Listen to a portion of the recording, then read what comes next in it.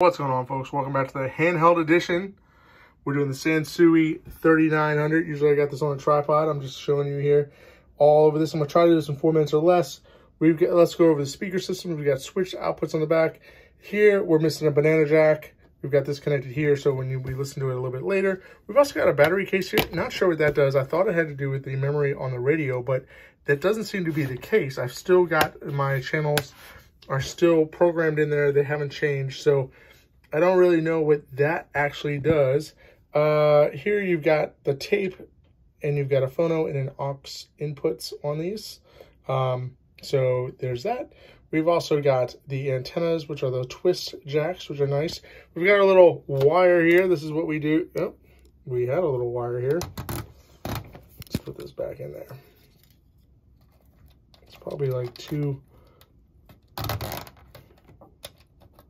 yeah, it's like it's probably too skinny for this, but should probably use speaker wire, honestly. Yeah, we'll just, whatever. Is what it is. It was working, so let's get it back. Now this video is going to be 10 minutes long, thanks to this. Let's put that in there and just leave it. We're not to pull on it. Got a little ferrite on here. We've got the top off so you can see the inside. Let's look at the inside while we're here. No bulging on the capacitors. There we go. We got the main capacitors right there in the front. We've got some other things on the boards here. Nice clean wiring. I've seen the wiring on this before and uh, yeah, everything looks pretty clean. Went over it with some deoxit and made sure that we cleaned it up.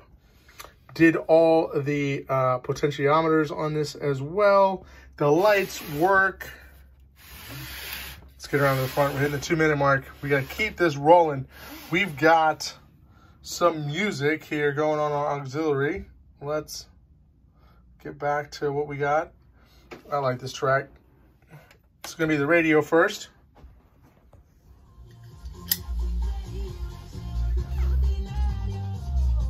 There we go. We find a channel that actually works. That's got some speaker. There we go. We've got the signal meters. They work. Locked works. I'm going to turn that down right now. And where's our light? We had a little light here. There it is. Just got dabbed when we were cleaning it out. So there's the light. And uh, yeah, everything looks really good. Nice clean numbers and all that good stuff. Let's look at the front of this face also looking pretty solid. Let's turn on those lights again. This face we just went over with some Peak aluminum cleaner. And man, that thing took all the knobs off, hit all the pots with some deoxit. You know, we gave this thing the once over. We gave it a good once over. So it's looking pretty solid. Nice and shiny. No major scratches, scuffs, no dings, no dents. It looks great. This is going to look great. The only downside is that one speaker terminal that's missing in the back. But you, I don't know if you can do both speakers. I guess you could. Get it replaced. Put this up for about 150, 175. Should leave you some room to do that. Let's go over the aux. Here we go. Let's put the balance back on here. We got the treble on. Put some loudness on. Freaking love this track.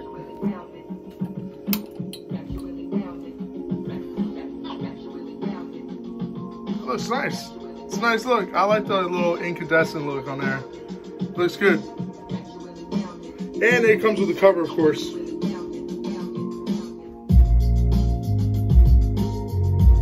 Very nice. Shaking the room, shaking the walls. The neighbor's gonna be complaining here in a second. Turn that down. So let me show you how to do the uh, tune on the actual this part will have a separate thing. Here's the FM. So let's just say we're listening to DC 101, Cranberries, and we want to tune into this. We're going to hold the memory and whatever button at the same time. So memory. And now it is, this little thing will flash up here. So let's, there it is. There we are. So let's go to another one. So we had two. Now let's go back to one. There it is, DC 101. So that's how you do it. Memory and whatever button you want to do at the same time simultaneously. That is how you program the memory. And you don't need the batteries to do that. So, um, let's just see something here. Because maybe those batteries are all about memory. Plug this back in. Plug it back on. All right, it's on there.